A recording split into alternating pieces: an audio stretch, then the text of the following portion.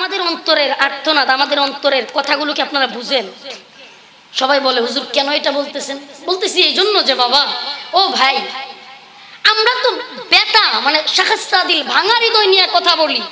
তোমাদেরকে ভালো পথে আনার জন্য এই মানুষের দাঁড়ে দাঁড়ে ঘুরে বেড়ায় কোনো স্বার্থ নাই, কোনো বেনিফিট নাই।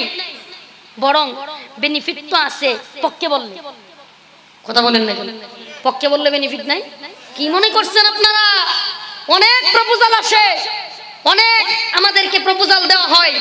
বলা হয়, হুজুর, এটা বললেন না, ওইটা বললেন না। মাদ্রাসায় ভালো হাদিয়া যাবে, মাদ্রাসা ভালো করে চলবে, আপনার পকেটেও হাদিয়া যাবে। কি প্রপোজাল আসে না মনে হয়? দাওয়াত বাড়বে।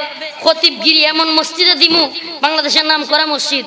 আহ, আমরাও বলতে চাই, তোমরা যারা প্রপোজাল দাও, তোমরা যারা আমাদেরকে বড় অঙ্কের টাকার লোক দেখাও আমরা বলি, তোমরা তো সেই দলের উত্তর সুরি কোন দল?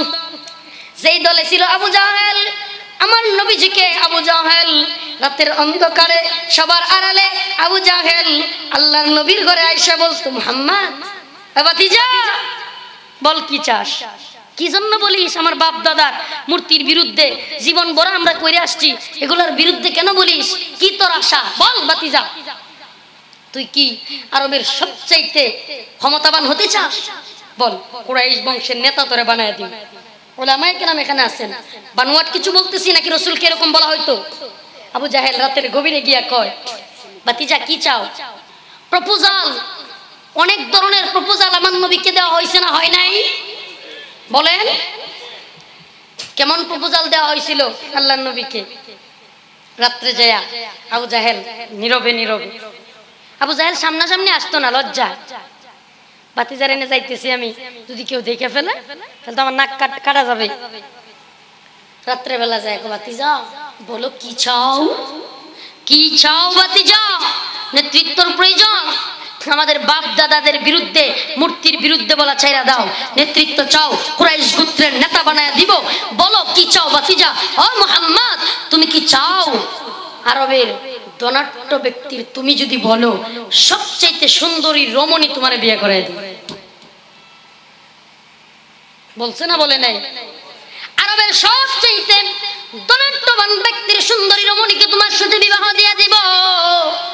বাতিজা, তবুও মূর্তির বিরুদ্ধে বলো না, ভাস্কর্যের বিরুদ্ধে বলো না। বলো, যদি তুমি চাও নেতৃত্ব তোমাকে কুরাইশদের নেতা বানায় দিব, যদি তুমি কোনো নারীর লোভ থাকে, বলো, তোমাকে আরবের সবচাইতে ধনাট্য ফ্যামিলির সুন্দরী রমণীর স্বামী বানায় দিব, বিয়ে করায় দিব। বলো, আরও কোনো লোভ আছে? চাও, উটের বিশাল বড় বহর চাও, উটের বহর দিয়ে দিব, খেজুরের বাগান দিয়ে দিব, টাকা, পয়সা, দিনার দিরহাম, নারী, বাড়ি, গাড়ি, কোনো কিছুর অভাব থাকবে না। বলো, বাতিজা, কি চাও? আমার নবী পাক বলেছিলেন, কুলু লা ইলাহা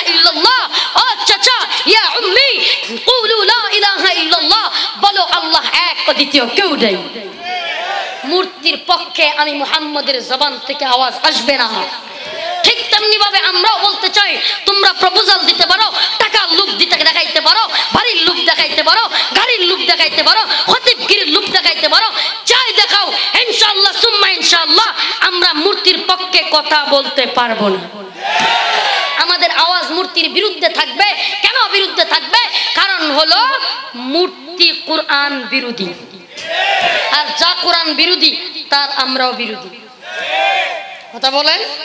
কোন যুক্তি দিয়া, কোন তাবিল দিয়া, কোন ব্যাখ্যা দিয়া, কোন হ্যাকমতের দোহাই দিয়া কিছু ধান্দাবাজ বিভিন্ন সময় হ্যাকমতের দোহাই দিয়া হক এবং বাতেল, কুফর এবং শিরিক যখন, শিরিক এবং হক এবং শিরিক যখন পার্থক্য শুরু হয়ে যায়, কুফর এবং শিরিক, কুফর এবং হক যখন মত পার্থক্য তৈরি হয়, তখন কোনো আলেম যদি হ্যাকমতের কথা বলে, কোনো আলেম যদি বলে হ্যাকমত কাটায় চলো হ্যাকমত কাটায় চলল বুঝতে হবে এর ভিতরে মুনাফিতে আছে। স্পষ্ট কথা স্পষ্ট কথা। কোন আলেম যদি কুফরের সাথে, ইসলাম এর বুনিয়াদী বিষয়ের সাথে, আল্লাহর এবং শিরাক হয়ে যায় এমন বিষয়ের সাথে হেকমত কাটায় চলতে চায়, তাহলে বুঝতে হবে তার ভিতরে মুনাফিকের কিছু হলেও আছে। এজন্য মুনাফিকি করা যাবে না। কেন?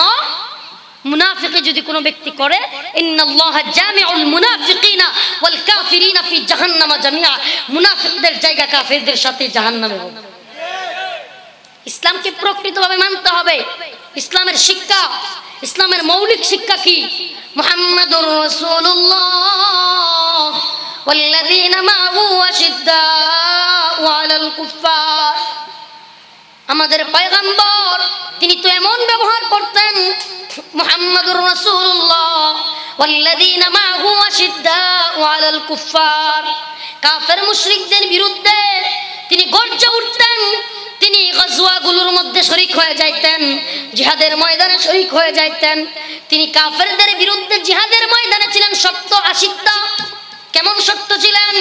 যারা আজকে জিহাদের বিরুদ্ধে ব্যাখ্যা করো, যারা জিহাদ বললে সুলকানি লাগে, যারা জিহাদ আর জঙ্গিবাদকে একাকার করতে চাও, তাদেরকে আমি স্পষ্ট পয়গাম দিতে চাই, জিহাদ, জঙ্গিবাদ, সন্ত্রাসবাদ এক জিনিস না। কেমন এক জিনিস না? জঙ্গিবাদ এবং সন্ত্রাসবাদের উদ্দেশ্য হলো, জঙ্গিবাদ এবং সন্ত্রাসবাদ মূলত হয় কি কারণে?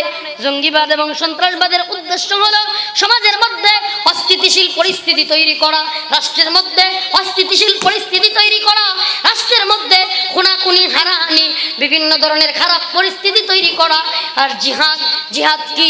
জিহাদ হলো যারা নাকি রাষ্ট্রের ভিতর অস্থিতিশীল পরিস্থিতি তৈরি করে, মাজলুমদের উপরে জুলুম করে, অত্যাচার করে, নির্যাতন করে, সেই সমস্ত মাজলুম ব্যক্তিদেরকে জালেমদের হাত থেকে রক্ষা করার জন্য জিহাদের আয়াতগুলো নাজিল হয়েছে। আমার আল্লাহ কোরআনে বলেছেন উদিনা যখন তোমাদের উপর জুলুম করা হবে, অত্যাচার করা হবে, তোমাদের ইসলামের বুনিয়াদি কাজগুলো থেকে তোমাদের বাধা দেওয়া হবে, তোমাদের উপর নির্যাতন করা হবে, তখন তোমরা তাদের বিরুদ্ধে যুদ্ধের ময়দানে নেমে যাও, জিহাদের ময়দানে নেমে যাও।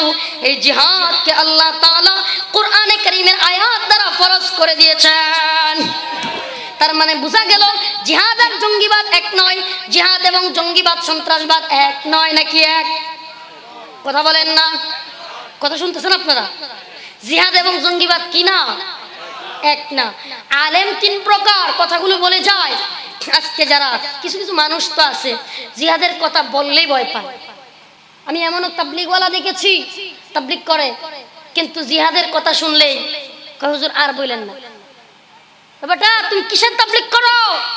আল্লাহ নবীও তাবলিগ করতেন, দিনের দাওয়াত দিতেন, আবার যখন তরবারি হাতে নেওয়ার প্রয়োজন হইতো, যখন বাতিল গাদ্দারগুলো ইসলামের বিরুদ্ধে, আল্লাহর নবীর বিরুদ্ধে সাহাবাই কেরামকে হত্যা করতে আসতো, আল্লাহর নবী সরাসরি তরবারি নিয়ে ময়দানে নেমে যাইতেন।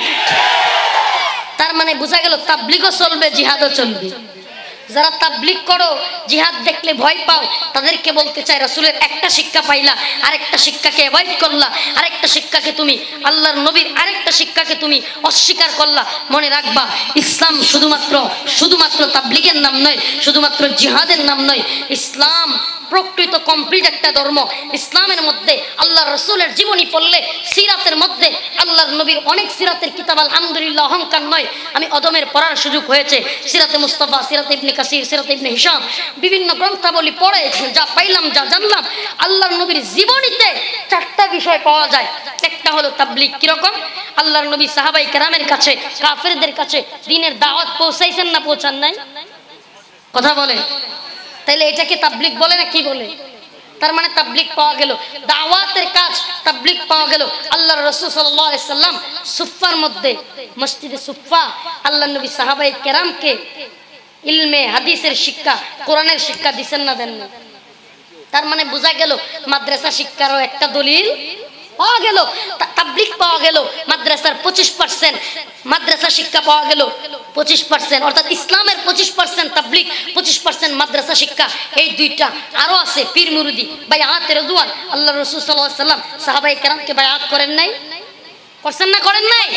তার মানে বোঝা গেল, ইসলামের আরেকটা পঁচিশ ভাগ হলো বায়াত করা পীর মুড়িদি করা। ইসলামের জন্য, দিনের জন্য বায়াত করাও জায়েজ আছে। এক নম্বরে বললাম তাবলিক পঁচিশ পার্সেন্ট দুই নম্বরে বললাম মাদ্রাসা শিক্ষা পঁচিশ পার্সেন্ট হলো পঞ্চাশ, ইসলামের পঞ্চাশ পার্সেন্ট আর পঁচিশ পার্সেন্ট হলো পীর মুড়িদি আরও পঁচিশ পার্সেন্ট বায়াত পঁচাত্তর পার্সেন্ট চলে গেল। এখন এই পঁচাত্তর পার্সেন্ট ওয়ালাদের মধ্যে অনেকেই আছে। তাবলিগও মানে পীর মুড়িদিও মানে বায়াতও করে, আবার কি বলে ওই মাদ্রাসায় মানে কিন্তু চার নাম্বারটা মানতে চাই না। সেটা কি? কালিমাতুল্লাহ, আল্লাহর দিনের আওয়াজকে বুলন্দ করার জন্য আল্লাহর নবী সশরীরে সাতাশটা যুদ্ধের ময়দানে নিজে গিয়ে উপস্থিত হয়েছেন, জিহাদ করেছেন। ইলায়ে কালিমাতুল্লাহর জন্য, ইসলামকে বুলন্দ করার জন্য, ইসলামের আওয়াজকে বুলন্দ করার জন্য, হক এবং বাতিলের মধ্যে কুফফারদের কাছ থেকে ইসলামের বিজয় চিনিয়ে আনার জন্য যদি আবারও রক্ত দিতে হয়, সেটাকেও তোমার আমার স্বীকার করা লাগবে। তুমি ইসলামকে প্রকৃতভাবে মানবে ইসলামের চারটা বললাম, চার পঁচিশে কত? এই হলো ইসলামের মূল বিষয়, চারটা বললাম। একটা হলো তাবলিক একটা হলো মাদ্রাসা, একটা হলো বায়া পীর মুরিদি আর একটা হলো ইলায়ে কালিমাতুল্লাহ। দ্বীনের জন্য ময়দানে ঝাঁপিয়ে পড়া চারটাই লাগবে। যাদের ভিতরে চারটা থাকবে, তারাই রসুল্লাহ সাল্লাহ সাল্লামের প্রকৃত অনুসারী, প্রকৃত সুন্নি। আর যেগুলোর ভিতরে খালি সিন্নি, জিলাফি আর মিলা ইয়ানবী সালাম আলাইকা, টুবলা দৌড় দাও, আর দিন শেষে রসুলের তিনটা মানার খবর নেই, খালি ইয়ানবী সালাম আলাইকা দৌড়ে বুঝতে হবে দান্দাবাজি আছে। গায়ে লাগছে? গায়ে লাগছে কারও? গায়ে লাগলেও করার কিছু নাই, এটাই সত্য। তোমাকে তাবলিগ মানতে হবে, দিনের দাওয়াত দিতে হবে, তোমাকে মাদ্রাসা শিক্ষা মানতে হবে, কোরআন হাদিসের শিক্ষা গ্রহণ করতে হবে, তোমাকে বায়াত মানতে হবে, পীর মুরিদি মানতে হবে, তোমাকে এলায় কালিমাতুল্লাহ মানতে হবে, তবেই তুমি রসুল্লাহর প্রকৃত অনুসারী। একটাকে মানলা আর একটাকে মানলা না রে? তুমি কি ভাবছ? ইসলামের অবস্থা তুমি জানো?